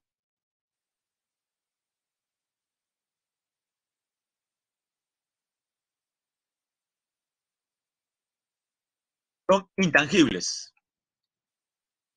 ¿Ah? Las de uso directo, o sea, donde sí se puede aprovechar el recurso natural, son las tangibles, son sinónimos, ¿ya? Ahí está. Intangibles o de uso indirecto, tangibles o de uso directo. Las de uso indirecto son parques nacionales, santuarios nacionales, santuarios históricos. Y la de uso directo, reserva nacional, refugio de vida silvestre, reserva paisajística, reserva comunal, bosque de protección, coto de casa. Pero no se asusten. Solamente las que están en negrita son las más importantes. Y de las de uso indirecto ya vimos santuario histórico. Por tanto, veremos solamente tres. Parques nacionales, santuarios nacionales y reservas nacionales. Importancia. Conservan la diversidad biológica, son zonas de interés cultural, paisajístico y científico y contribuyen al desarrollo sostenible. A ver, usted que tiene buena vista, la primera imagen donde aparece una foca, ¿se anima a decirnos a qué reserva nacional pertenece? Queda en Ica. En la más conocida Ica. Muy bien, Paracas, ahí está el lobo marino. La segunda, yo sé que yo sé que se puede sentir mal que le pregunte, pero es muy la segunda corresponde al lugar más visitado en el Perú. Es un santuario histórico. Maravilla del mundo también. ¿No? En Cusco, Machu Picchu. Perfecto. En Cusco. Y la tercera, a ver, solamente los viajeros al toque reconocen. La tercera, la última. Mire esa laguna a orillas de nevados. Y se puede ver ahí a la izquierda el tronco de un queñual, árbol típico que rodea esta zona. Queñual, una laguna de origen glaciar. Miren, el agua es de color turquesa, transparente, jóvenes, parece un espejo del cielo. Correcto, Yanganuco. Y si es Yanganuco, jóvenes, estamos hablando de qué área natural protegida. Le ayudo, es un parque nacional. ¿Cómo se llama? Queda en Ancash. Protege la Cordillera Blanca. Tiene el nombre de un nevado. Ya está. Parque Nacional, ¿qué? Huascarán. ¿Ven? Esos son ejemplos de áreas naturales. ¿Profe, solamente son tres? No, son tres jóvenes. Miren el mapa. Cada manchita con colores que vea es un área natural protegida. En la selva están las más extensas. ¿Cuántas son en total? 75 jóvenes. En total son 75 ANPs. Pero recordar que aparte de las 75, que son de Administración Nacional, también hay 25 de conservación regional. Se le conoce con las siglas ACR, Área de Conservación Regional. Y 141 privadas, ACP, que es ACP, Área de Conservación Privada. Pero las más importantes son las ANP, porque son nacionales. Jóvenes, todas estas representan el 17,31% de todo el territorio peruano. Suena bonito, ¿no? Me dice profesor. Entonces, casi la quinta parte del Perú está protegido. Sí, al menos en el papel está protegido. Pero hemos visto imágenes la semana pasada de cómo entran a la reserva de Tambopata, los mineros ilegales y todo lo demás. Agrupadas en el SINAMPE, las áreas naturales forman una lista. Esta lista de áreas se llama SINAMPE. Es el Sistema Nacional de Áreas Naturales Protegidas, que son gestionadas por una entidad. La entidad se llama CERNAM, o sea, el Servicio Nacional de Áreas Naturales Protegidas. Yo sé que suena parecido, pero no confunda. El organismo es el CERNAM. ¿Ya? Y el sistema se llama SINAMPE. O sea, el CERNAM administra el SINAMPE. No sé si me ha entendido. El CERNAM, que es la entidad, el órgano, administra al conjunto de áreas, que es el SINAMPE. Y el CERNAM, como hemos dicho, pertenece al MINAM, al Ministerio del Ambiente. Ya. ¿Cuáles son los más importantes? Jóvenes, no se olvide, los parques nacionales y los santuarios son intangibles. Diferencias, los parques son más extensos. Definición, son áreas que constituyen muestras representativas de la diversidad natural del país. Características, en ellos se protege con carácter intangible, nuevamente la palabra, mire, intangible, uno o más ecosistemas. Esto es importante. Uno o más ecosistemas suelen ser más extensos, jóvenes. También se protege asociaciones de flora y fauna silvestre, así como otras características paisajísticas y culturales. El primer parque nacional creado fue Puterbo. No se olvide, son de uso indirecto. Y estos son los más importantes, jóvenes. Puterbo, queda en Cajamarca. Profe, ¿qué es lo que vemos en la foto? La cueva, bueno, la imagen corresponde a una cueva. La cueva se llama igual que el ave, que es justamente el principal huésped. Huácharos. Ese es un huácharo, jóvenes. Parece una lechuza, ¿no? Es un guácharo. Cueva de los Guácharos. Queda en eh, Cajamarca. También le llaman Cueva de San Andrés. La otra, donde se ve la Bella Durmiente. Pingo María. Pero debajo de la Bella Durmiente hay una cueva. Ya. Esta es la foto, cómo se vería, cómo, cómo usted tomaría la foto si estuviese dentro de la cueva. La cueva de las lechuzas. Debajo de la Bella Durmiente. Pingo María, Huánuco. El Manu, el, área natural más conocida del Perú en el mundo. Abarca Cusco, pero principalmente Madre de Dios. A ver, jóvenes, creo que aquí nos puede decir, estos tres personajes corresponden a qué especie. Los puede ver en el Parque de las Leyendas, es uno de los lugares que la gente más le toma fotos, es la nutria o lobo de río. Nutria o lobo de río, muy bien. Cuarto, ya lo vimos, Huascarán, la misma imagen, jóvenes, miren. La laguna, nevado al fondo y el árbol de Queñual. Correcto, Yanganuco. Muy bien, muy bien, Diego. Luego, jóvenes, tenemos una zona que protege bosque seco. Y también, y también protege, por ejemplo, bosque tropical. Los cerros de Amotape. Vemos bosque seco, la nutria, el cocodrilo. Y mire, en la foto, ¿quién sale? Aullando todavía, como le decía. Le dije yo la semana pasada que íbamos a mostrar una foto donde se vea al, a este primate aullando. Ahí está. ¿Cómo se llama este primate joven, este mamífero? El cotomono, o también llamado monocoto de Tumbes, mono aullador. Tiene tres nombres, cotomono, monocoto de Tumbes o simplemente aullador. Eso es en Tumbes, jóvenes. Tumbes y parte de Piura.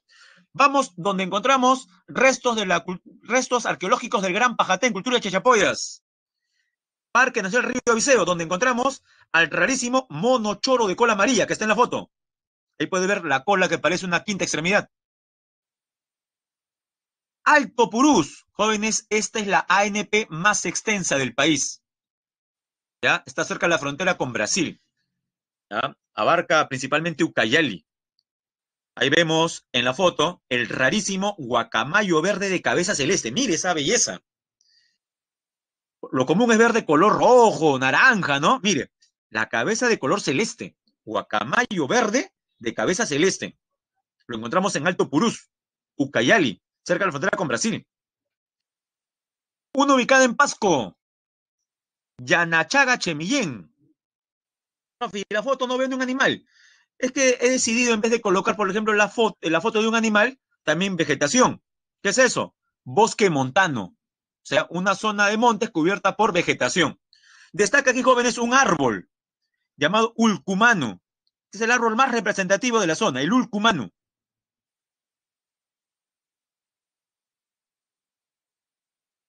Vamos a Bajuaja Sonene.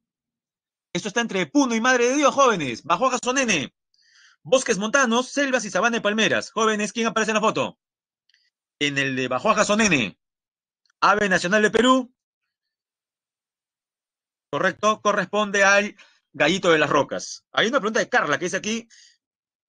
Sí, hay un mono que le llaman leoncillo o leoncito. Pero es más conocido por usted de la siguiente manera. Ahí lo escribo. El mono leo, león, leoncito o leoncillo usted más le conoce con este nombre. Uy, todo con mayúscula mejor. ahí va. Jóvenes, es lo que usted conoce como el mono tití. Es el mismo animal. Mono tití o leoncillo. ¿Por qué también le llaman leoncillo? Porque al igual que en los felinos, el macho y la hembra no son iguales. El macho y la hembra no son iguales. El macho tiene como una especie de melena. De ahí el nombre leoncillo. Es bien pequeño. Es prácticamente pues un, ah, no se olviden, es el mono más pequeño del planeta. Cuando es recién nacido, jóvenes, su dedo pulgar, su dedo pulgar es más grande que el monito. Algunos le llaman mono de bolsillo. Es el preferido de los niños en la Amazonía. Suele estar, por ejemplo, eh, en el hombro de, las personas. El mono tití o mono leoncillo. Si hay leyendas al respecto, es verdad. Si es bien pequeño. Es el más pequeño del mundo, jóvenes, ¿ah? Tenemos el mono más pequeño del mundo, el tití. Y luego Cordillera Azul, donde vemos a los, al, al glotón oso de anteojos. Cordillera Azul queda en San... Bueno, es, Cordillera Azul es el parque nacional que abarca más departamentos. Abarca Ucayali, Loreto, San Martín y Huánuco. Es el más interdepartamental. Ahora, jóvenes, tenemos los santuarios nacionales. También son intangibles, pero protegen lugares más pequeños. Es más focalizado. ¿ya? Un santuario, a diferencia de un parque, es más focalizado son áreas donde se protege el hábitat de una especie, mire, ¿eh? De una especie a una comunidad. Jóvenes, ¿en qué se parecen los parques a los santuarios? En que son intangibles. ¿Cuál es la diferencia? La extensión. Los santuarios son más focalizados en una especie o en una comunidad. En cambio, los parques abarcan varios ecosistemas. Esa es la diferencia. Son de uso indirecto, se permite el turismo, investigación científica, ¿no? Y hay zonas propiamente designadas. Muy bien. El primer santuario establecido fue el de Guayay, donde se protege bosque rocoso. Precisamente ahí va la primera imagen. Guayay en Pasco, bosque rocoso. ¿Divisa algún animal? Sí, esa es la alpaca, mire. Calipuy, en La Libertad, Sierra de la Libertad. ¿Qué protege? Rodales de Puya Raimondi, como en la foto. La planta que produce más flores a la vez. Ampay, en Apurímac, protege una conífera. ¿Ya? El Perú tiene pocas coníferas. Algunos inclusive dicen que es la única conífera. Bueno, se llama intimpa o romerillo. Es endémica de Ampay. Solamente crece en Ampay esta especie de pino. Intimpa o romerillo. Megantoni, en Cusco, en la imagen el Pongo de Mainique, lugar sagrado para los matziguengas. El Pongo de Mainique. Manglares de Tumbes, está el famoso cocodrilo americano o de Tumbes. Las lagunas de Mejía en Arequipa, Megatónica en Cusco, laguna de Mejía en Arequipa son como los pantanos de Villa, pero más extensos, jóvenes. Albergan aves, migratorias. Y las reservas que ya habíamos hablado, aquí sí se permite, jóvenes, en las reservas, el aprovechamiento de recursos naturales, cosa que no ocurre en las dos anteriores porque son intangibles. Paracas, en Ica, vemos ahí lobos marinos, la chay, acá en la región Lima, el zorro, del, el zorro costeño, Calipuy. Profe, ya vimos. Eso fue Santuario Calipuy. Esta es reserva de Calipuy, protege principalmente guanacos. Tambopata, en Madre de Dios. A ver, ¿qué animalito es el que aparece a la derecha, jóvenes? El armadillo gigante, jóvenes. Ese es el armadillo gigante, ¿ah? No es cualquier armadillo. Mírenlo bien. Y por último, Pampa Galeras en Ayacucho, Vicuñas, Pacaya Samiria en Loreto, vemos ahí el delfín rosado, también llamado delfín cabeza de botella, Salinas y Aguada Blanca, en la zona volcánica de Moquegua y Arequipa, vemos por ejemplo al fondo Vicuñas, ¿no? Y al fondo está el Misti. Sí, el delfín rosado es silvestre. El delfín rosado es silvestre. Y está al borde de la extinción, lastimosamente, jóvenes. Y jóvenes, San Fernando, que es la que quiero presentarles ahora. Queda en Ica y es poco conocida. Es poco conocida. Aquí va. Para que vea que no todo es, que no todo en Ica Paracas.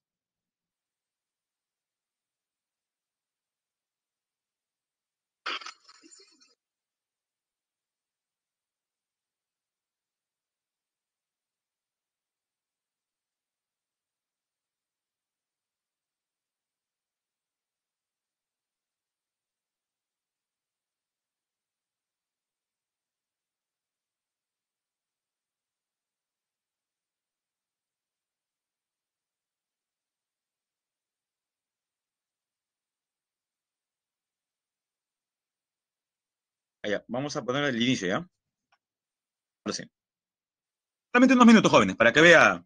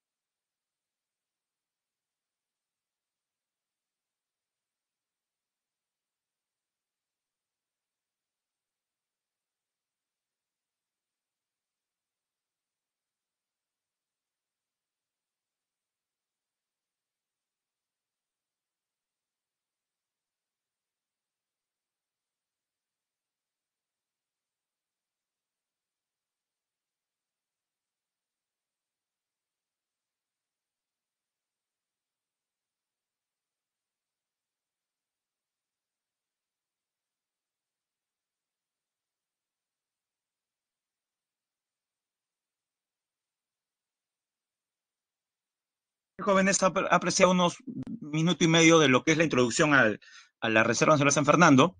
Es un este, informe hecho por el mismo Ministerio del Ambiente. Y Diego, por nos ha hecho el favor, gracias Diego, de haber colocado el link. Y no se olvide, eh, dígame, ¿pueden crearse nuevas áreas naturales protegidas? La respuesta es sí, puede. ¿Existe alguna, por ejemplo, donde se está haciendo campaña para proteger un ecosistema en especial? Y usted puede apoyar. Hay una reserva nacional que desde el año pasado se intenta implementar. Hay estudios al respecto. Está solamente la, este, que las autoridades competentes realmente se animen a declararla como tal. están recolectando firmas para que usted pueda apoyar la creación. Me refiero a la Reserva Nacional Dorsal de Nazca. ¿Es reserva? No, todavía. Se, se, pretende crearla por parte de diferentes organismos. Eh, ¿Qué ve de qué trata? El mismo, la misma este, institución u ONG que es la principal baluarte respecto a su creación, menciona lo siguiente. vamos a ver acá.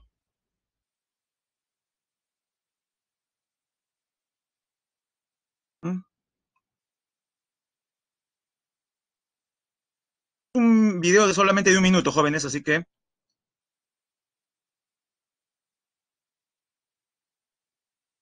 Ya, aquí va. Esta atención, dura, dura solamente un minuto.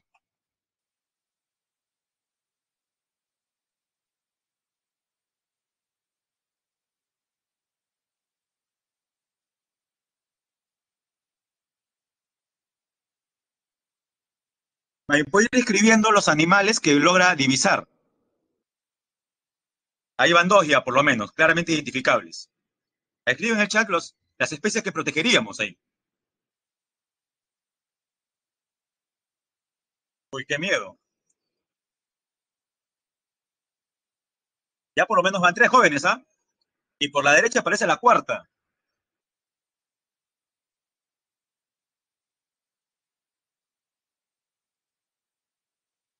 Y el último.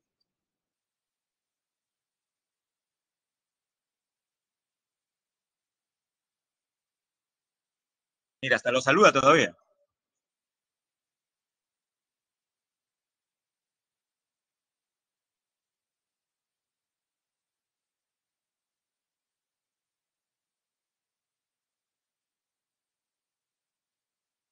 ¿Logró divisarlas algunos? Ajá, el tiburón martillo. ¿Qué más vio? Tugas marinas. El que se acercó a saludarlo en la pantalla, ¿no? En la cámara. El delfín. Una medusa por la derecha. El inicio, imponente jóvenes, ¿quién aparece? Inicio, ¿quién aparece? La ballena. Profe, tortugas también, sí. pero no, no han dicho nada en el video. Dijo que para firmar, apoyar y todo, ¿qué pasó? Ya, ese es solamente el video introductorio de un minuto donde no se menciona nada. ¿Ah? Ahora sí. Vamos a ver de qué se trata. Ya le dije el nombre, inclusive. Creo que ya, ya, lo estropeé ya, porque ya le dije el nombre de cómo se llamaría. Ojalá que se logre aprobar, jóvenes. Puede hacer algo, puede firmar, ¿ah? Luego le digo el, link donde tiene que firmar. Su firma puede apoyar la creación. Aquí va. Vamos esto y pasamos a las preguntas de una vez.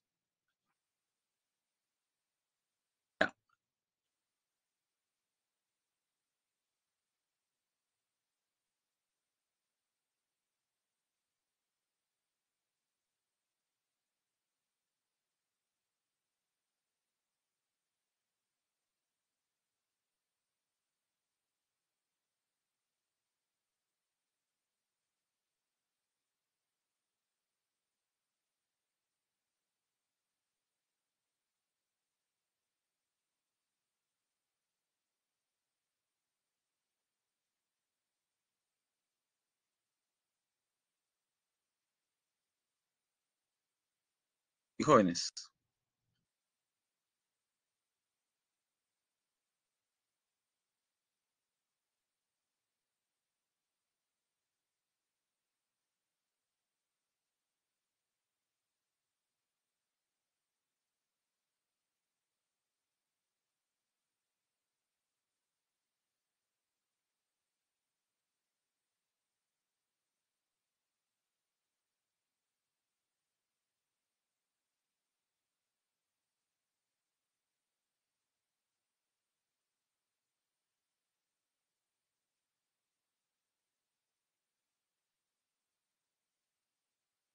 Interesante, ¿no, jóvenes? Eh, para que vea que esta cuestión no es solamente, pues, algo de, algunos científicos, ecólogos, una vez dice, qué aburrido, profesor. Me va a ver aquí un video chiquito nada más de lo que opinan algunas, este, algunas personas no son parte de la comunidad científica, pero me parece que es una importante labor la que realizan. La de, eh, aparecen, por ejemplo, una cantante, gastrónomo, ¿ah? un gastrónomo, y, acá. Un artista plástico también. Ya, aquí va. Tres personas que uno diría no tienen nada que ver con la conservación. Escuche su mensaje. Y son jóvenes como ustedes, ¿ah?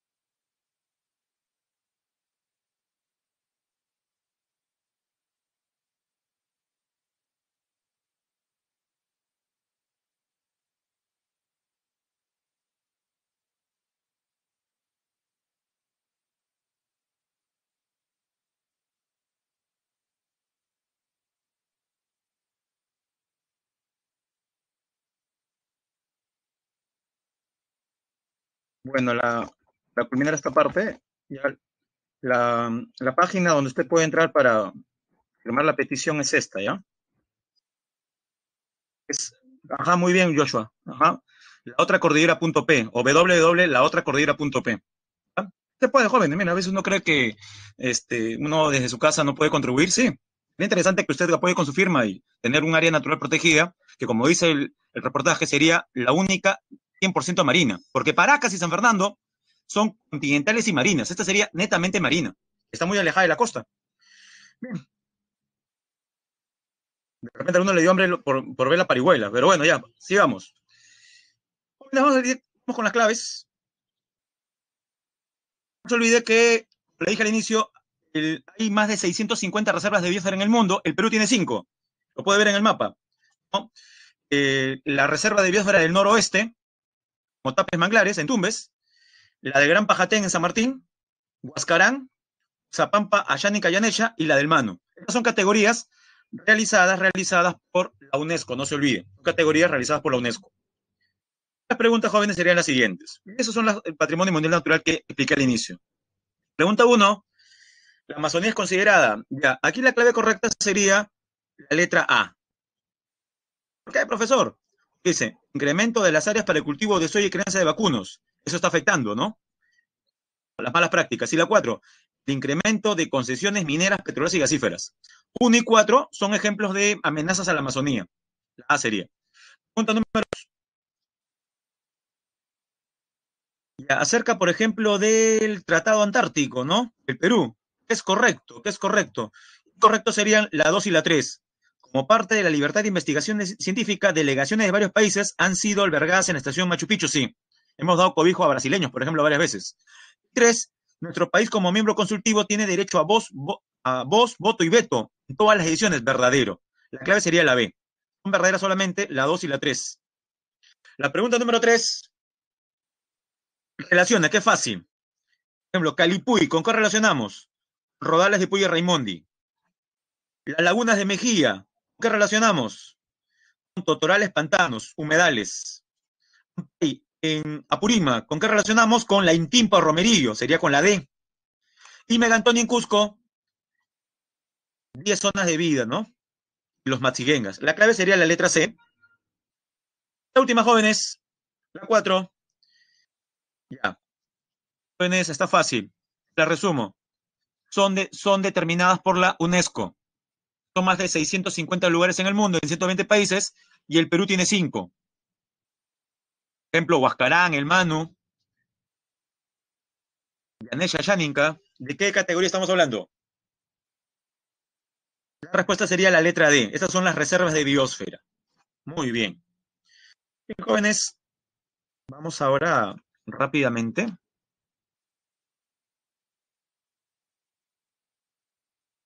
Hemos visto la semana pasada el Estado peruano. Y nada, lo, lo referente al poder legislativo. Hoy día hablaremos del poder ejecutivo. ¿Ustedes lo conforman? Bueno, lo encabeza el presidente de la República, pero no está solo. A veces creemos que el presidente de la República es como un rey, hace lo que le da la gana. No, no, no, jóvenes, hay un marco a respetar. Es más, el mismo Poder Ejecutivo tiene una ley orgánica. La ley orgánica nos va a determinar justamente las funciones y límites que tiene el, presidente. Veamos entonces. Ejecutivo, según ley orgánica, se divide en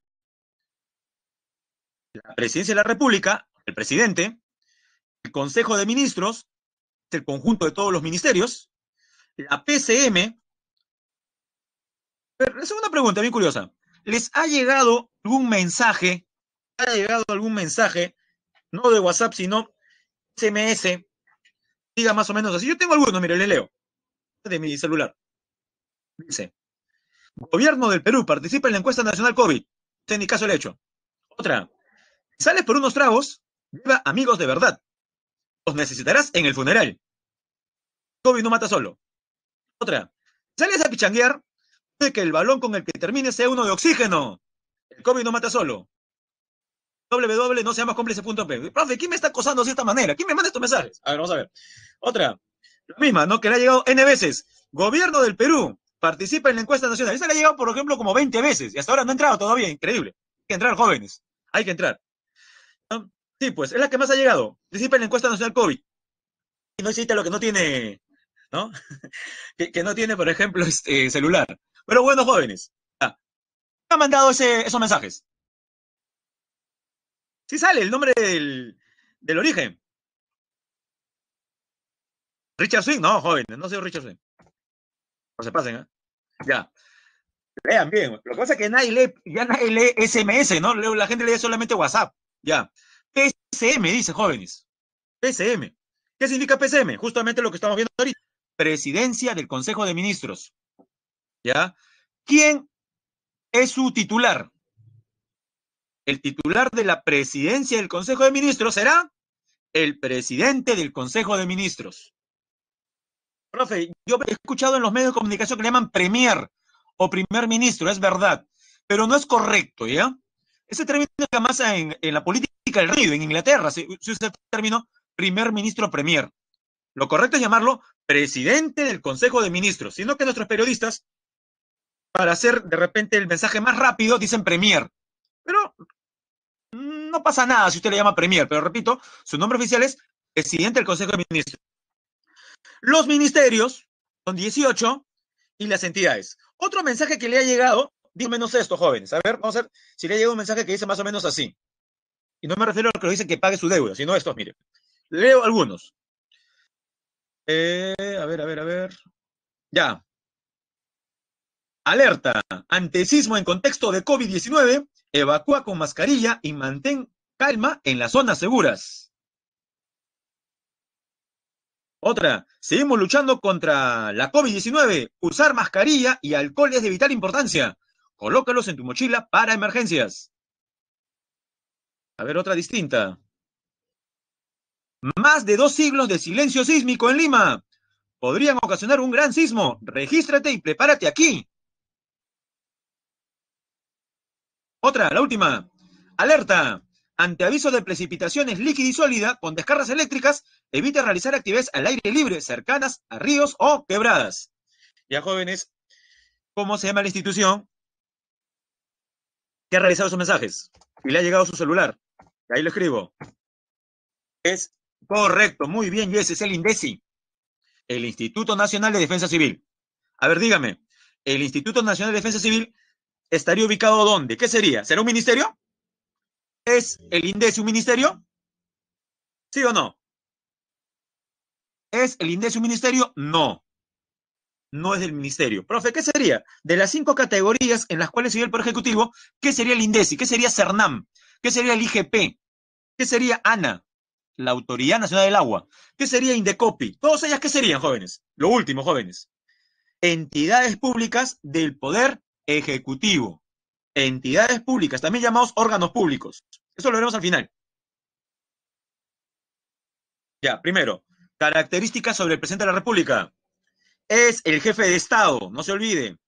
El presidente de la República es jefe de Estado. Jóvenes, pregunta. El presidente de la República es jefe de Estado. ¿Y quién es jefe de gobierno?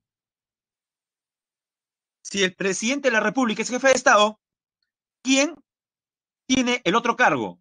jefe de gobierno.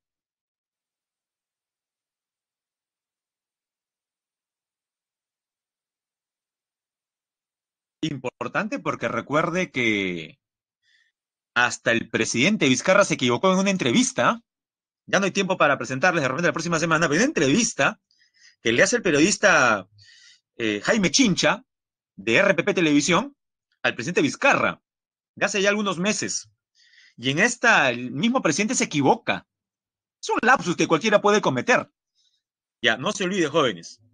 El presidente de la República es a la vez, es a la vez eh, jefe de Estado y jefe de gobierno.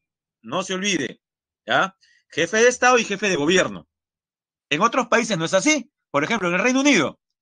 ¿Quién es jefe de Estado? La reina es jefe de Estado. ¿Y quién es jefe de gobierno? El primer ministro. Y eso no pasa en el Perú.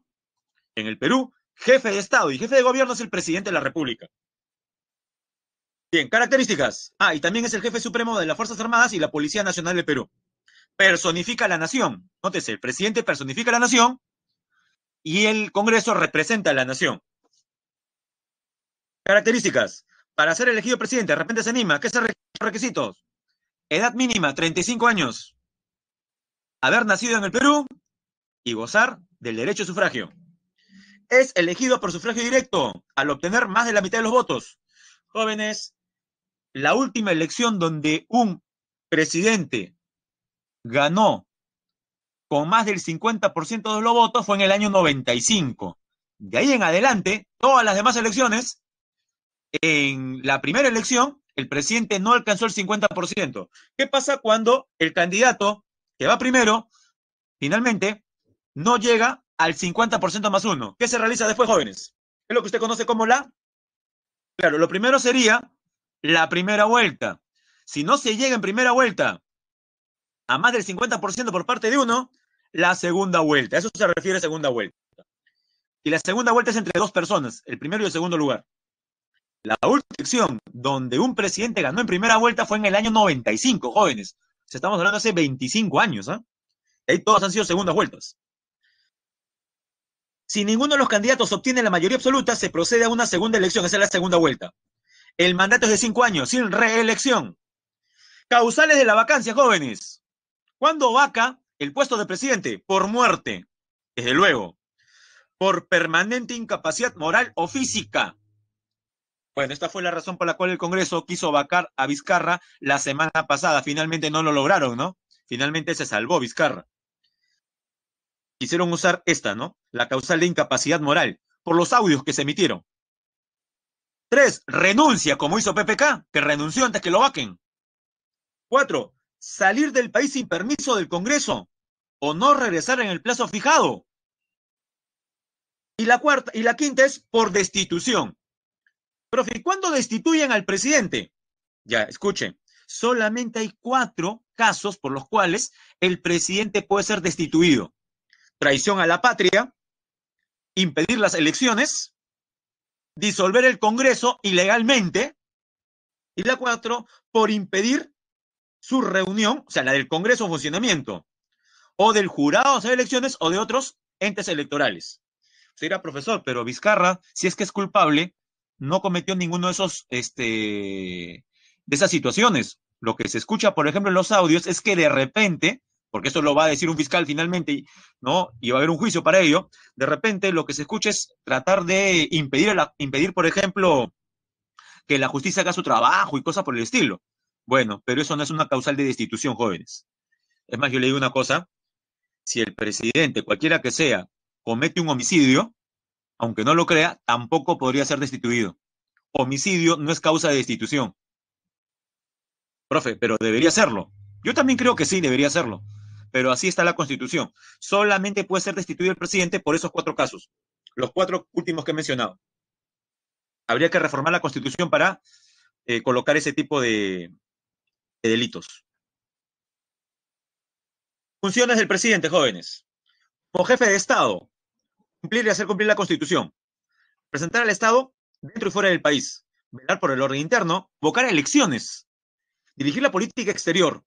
Conceder indultos cumplir y hacer cumplir las sentencias.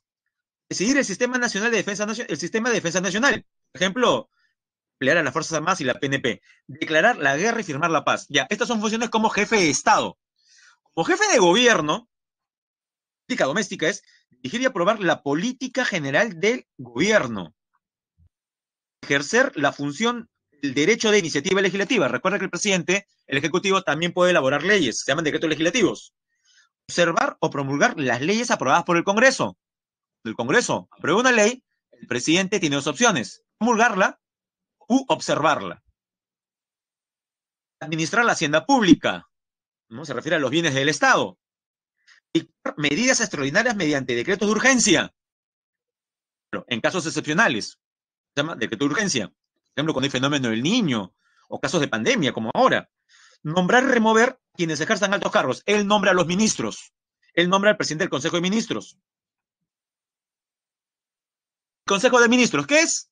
Es el conjunto de ministros y ministras. Es presidido por el presidente del Consejo de Ministros.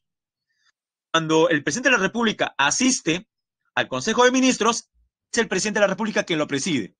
Pero cuando no está el presidente de la República, lo usual es que sea el mismo presidente del Consejo de Ministros tiene a su cargo la dirección y gestión de los servicios públicos. Atribuciones.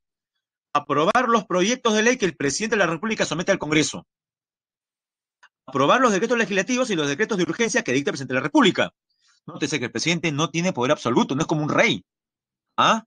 El presidente tiene justamente que tener la aprobación de su Consejo de Ministros para realizar las políticas. Adoptar decisiones sobre asuntos de interés público. Este es el Consejo de Ministros, mire, en pleno COVID otros están con mascarilla. Este es el último gabinete. El Consejo de Ministros también se le llama gabinete ministerial. Quien preside el Consejo de Ministros es el presidente del Consejo de, es justamente el presidente del Consejo de Ministros. ¿no? La presidencia del Consejo de Ministros es el ministerio responsable de la coordinación de las políticas nacionales sectoriales. Y acá abajo, jóvenes, tenemos del presidente, señor, por ejemplo, Walter Martos, actual presidente del Consejo de Ministros. Después del presidente de la República, el portavoz autorizado del gobierno coordina las funciones con los demás ministros, refrenda los decretos legislativos.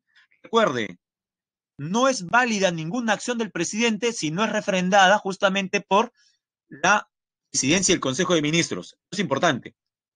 No son nulos los actos del presidente, que no tengan refrendación ministerial. Bueno, algo vimos, este, hemos visto varias veces la cuestión de confianza. ¿Qué cosa es? Es un recurso del Poder Ejecutivo eh, solicita al Congreso. El Congreso le da la confianza.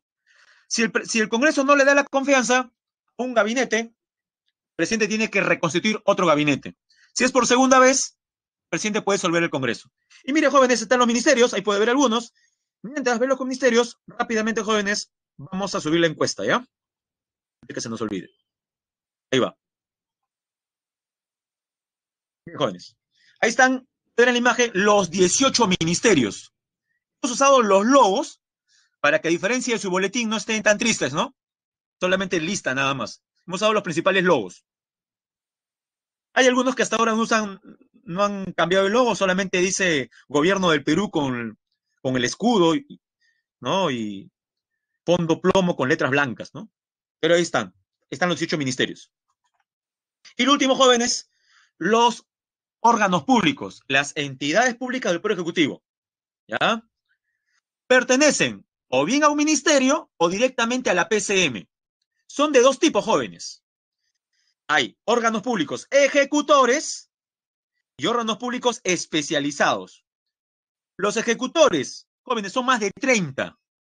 Algunos, por ejemplo, tenemos ahí la Biblioteca Nacional del Perú, ¿no? Tenemos ahí la SBN, el IGP y Proinversión. IGP es el Instituto Geofísico del Perú. También tenemos ahí, por ejemplo, los órganos públicos especializados, que se dividen en dos. Los que regulan a las empresas privadas que emiten algún, que hacen algún servicio. Por ejemplo, Ocinermin, eh, Ocitran, transporte, Ociptel, telecomunicaciones, y SUNAS, por ejemplo, agua potable y alcantarillado. Ocinermin es la que supervisa a las empresas que dan el servicio, por ejemplo, o que ofertan energía eléctrica. Y los técnicos especializados son la SUNA del INDECOP, SUNAR, el IMAR, PEANA, INEI, o como vimos en el, en el video de la Reserva San Fernando, el CERNAM. Esos son los organismos públicos. Muy bien. Eh, vamos con las claves jóvenes, para culminar ya. Pregunta uno. Jóvenes, está facilísima. ¿Qué pasa si el presidente, por alguna razón, deja de serlo? ¿Quién asume? Primer vicepresidente, pero no puede. Segundo vicepresidente, tampoco puede. Cuando no puede ni el presidente ni los dos vicepresidentes por alguna razón por renuncia, ¿quién asume? El presidente del Congreso de la República. Eso pudo haber pasado, jóvenes, y vacaban a Vizcarra. Porque recuerde que Vizcarra fue el primer vicepresidente, ahora presidente, y la señora Mercedes Arauz renunció a ser vicepresidente de, Martín Vizcarra. O sea, nuestro presidente está sin vicepresidente. Si hubiera sido, claro, hubiera sido el señor Manuel Merino. La segunda, el ministro de Agricultura y Riego realizó un viaje a la región Loreto para la inspección y supervisión de los cultivos de cacao y camucamu. Sin embargo, durante su estadía comenzó a sufrir malestares que lo llevaron a ser hospitalizado.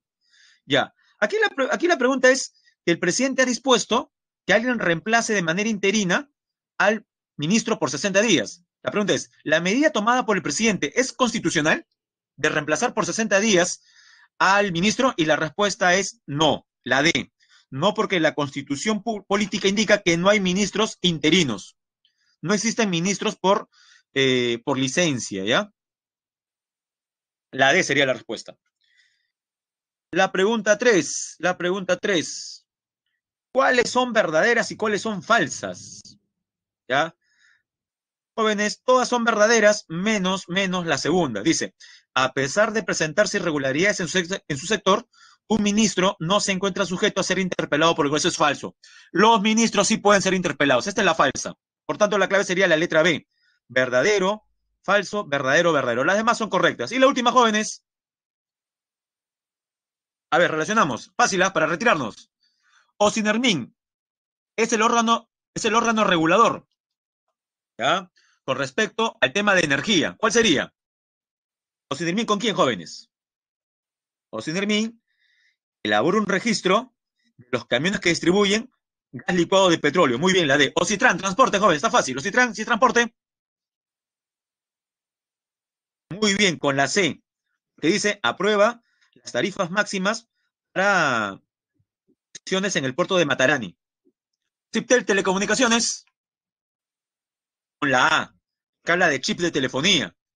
¿Verdad, joven? Está prohibido que la gente venda chips en las calles. Sin embargo, lo siguen haciendo, ¿no? Está prohibido. Usted lo ha dicho, que está prohibido vender chips en las calles. Y la última, es unas saneamiento. Sedapar. Profe, ¿no es Sedapal? Sedapar es el Sedapal de Arequipa. Sería correcto. La clave sería entonces la letra A. Y jóvenes, vamos a detener la grabación